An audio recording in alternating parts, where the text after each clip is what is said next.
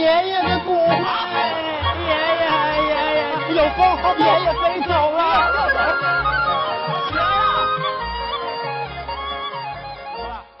我们来演练一下。哦，演练一下。对，就是待会我演男生，哦你演女生，然后我来搭讪你。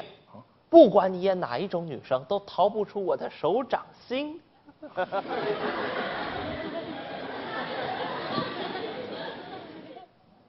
小姐，色狼，你电我干嘛？啊，不好意思，我以为你是色狼呢。不是啊，可不可以演一个和善一点的女人？哦，和善一点。不要动不动拿电球戳人。好，好，好，好，再一次了解，了解。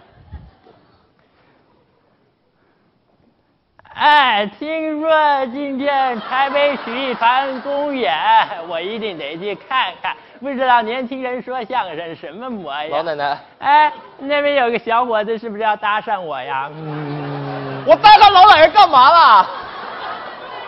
你不是叫我演一个和善一点的女人吗？对，我说的是和善。那我这是慈祥，啊，是啊，我我跟你准确的说明一下这个场景好不好？啊就是啊，我们俩在路上面对面相遇，哦然后你手上抱有东西，我们不小心撞到了，啊东西洒了一地，帮你捡起来，还给你，这样就能产生一段浪漫的邂逅，是这样的场景，懂了吗？懂了，懂了。再来一次啊再来一次，再来一次。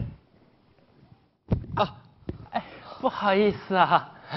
没关系，我来帮你捡啊。爷爷的骨灰，哎，爷爷爷爷，你死的好惨啊！爷爷爷爷，我来帮你有风，爷爷飞走了，不要走啊起来呀！怎么了？你抱着爷爷的骨骨灰干嘛啦？你不说抱喜欢的东西吗？对啊，我蛮喜欢我爷爷的。哎，这样你抱书，我抱书啊对。你抱书好不好？哦抱书女孩最文静了，一定挡不住我的魅力。